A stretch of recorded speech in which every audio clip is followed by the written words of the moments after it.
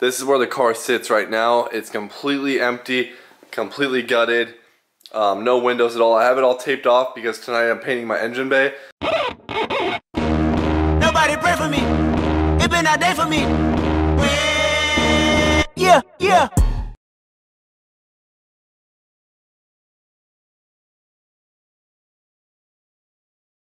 Hopefully I can explain this quick and painless because I have a lot, a lot of stuff going on tonight.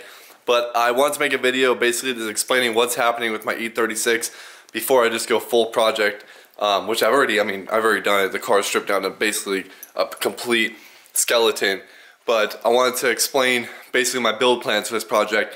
If you've been following along with any of the videos that I've kind of been like showing some of what's going on and showing the progress I've been doing because I haven't really filmed a full video for a while. It's kind of been in and out of the scooter videos and short little clips like that. Basically, I took the whole car down to raw shell, fully building it back up from scratch. So this is where the car sits right now. It's completely empty, completely gutted, um, no windows at all. I have it all taped off because tonight I'm painting my engine bay. But that's what I've been working on for like the last week now, is going in here and clearing everything out of the engine bay, shaving the engine bay and cleaning it all up, um, cutting my inner fenders out, and uh, everything like that. I cleaned the shit out of the car with the power washer the other day. Here is a sample of the paint I'm going for. I'm not going to be painting the engine bay in this video, but I'm going to be doing it tonight. But, but that's for a video to come later, probably next week. Um, I'm going to be painting all the way, basically the whole front clip of the car, all the way around. And uh, I'm going to do the interior, it's the same color as well, just not tonight. Um, I just plan on getting this done. I want to move front to back, so I want to get the front dialed in, get everything running, make sure the car's running, and then I'll do my interior and uh, so on and so forth. But I got the motor under here. I, I cleaned the transmission a bunch the other day. That's why it's so shiny looking because it was covered in like oil crud and everything like that from the motor that was leaking beforehand. But here's my engine. I cleaned this the other day as well. So it's all shiny. I got um, a new water pump pulley coming in. It's like an aluminum one that's all cut out. It looks really cool. Uh, I got brand new headers. They're inside the house in the box. I'll probably open those up for this video as well. I also got my lightweight clutch and flywheel in the other day. Um, I'll show you guys that right now. But before I get to that, let me get you guys to envision this real quick. So, I plan on doing a wide body on this car. I think I'm to do the 40 mil in the back. So it's to be wide body. I'm, on, I'm more of a rounded kit. I don't really like the way the Pandem kit looks on this car. Um, I'm to have chrome wheels. And uh, I guess I'm to leave the color of the car a secret for now. But it's to be some Hot Boy sparkle for sure. Uh, I'm to have full polycarbonate windows. not sure if I'm to be running door windows yet. But everything else is to be polycarbonate. I need to get my fiberglass sunroof. I'm probably to do the ducts in these rear windows as well for the polycarbonate ones. I'm to be cutting the doors out. As you can see, they're already gutted. I'm basically to be cutting out everything I don't need and then getting my door cards. Um, I'm to have the diamond plaques right here for my feet because it's all like on level ground right now. So I'm to do diamond four plates on both sides of the car and then just raw paint. Eventually I'm to get a cage, but probably not right away because uh, I'm not really pushing too much power. It's just to be an M52. So it's not to be ridiculous power, but it's to be a lightweight car. So it should be a lot of fun. But once I do some more power, like a turbo build and everything like that, then I'll probably go full cage and uh, figure out that whole situation. Um, that's why I'm just spray painting the car. So it's not a big deal if I have to grind away to put my cage in and then paint the cage afterwards because I'm not going to do any clear coat. I'm just going to paint the car and leave it with just a layer of paint so when I go back I can do it and uh, so on. So yeah, that's the plan for that. I'm not going to be running a rear seat. I'm still debating what I want to do for the rear because I kind of still want to leave my stereo in here so I might still put my sub box right here which is like a cool sub box because it literally lays flat right there. Um, for the trunk setup, not too sure what I want to do for it still. But uh, that's later on. Like I said, I'm going front to back. But I definitely want like a little wing. Um, I'm not sure if I want to run a big like wing at all. So I might just run just like the basic looking like M3 stuff. For the angle kit, I'm for sure getting the SLR angle kit. That's going to push my wheels out a bunch. So I'm going to have my 50 mil front wide body on this. Uh, also, I'm going to have a bash bar in the front.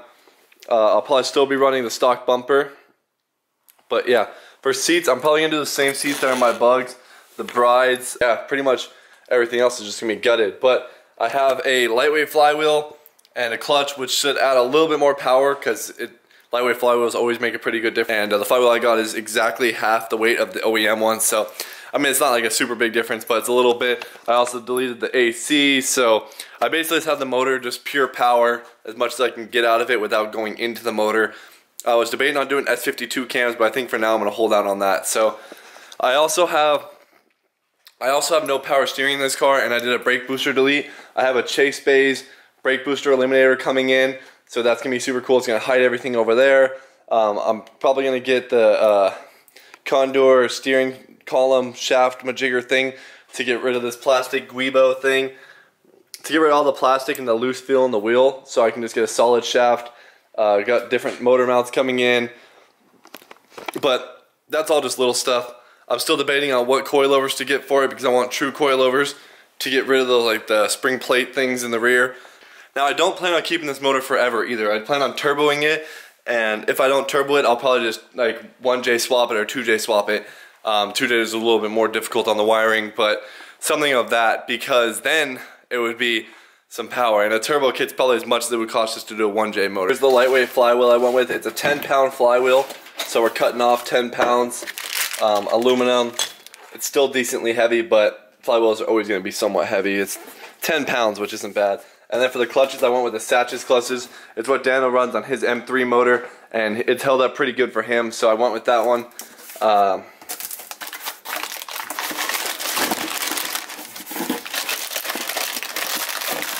and that's just a, it's a springless clutch and pressure plate and a new throwout bearing everything of that. So it's gonna be a little bit until I put that in. All right, I'm gonna get inside before I start working on this car and uh, open up these headers and see what they look like. Uh, I got literally, I ordered so much parts of this thing lately. It feels like Christmas because every single day I got more and more parts coming in the mail. So today was the headers. Oh my God, box ripped on me. Still have, um, I still have a few things from Hard Motorsports. Like I got motor mounts, transmission mounts, stuff like that. A couple things for my motor. I got that pulley coming in. I have uh, some a coolant block off places. I'm not gonna be running a heater core. Um, I'm not sure. I ordered some other stuff. I just can't remember off the top of my head right now. So once I get everything like that, the motor should be going in and then it's time to hook up my angle kit and get that front end situation completely done. And uh, once that's in there, I should have all the wiring done and the car should be running. And then from that point on, I'll move to the interior of the car and get that dialed in. And then it's time for the outside. I can't wait. These headers look like, I went with just some basic headers, nothing too special. Um, I can't remember the brand of them to be honest, but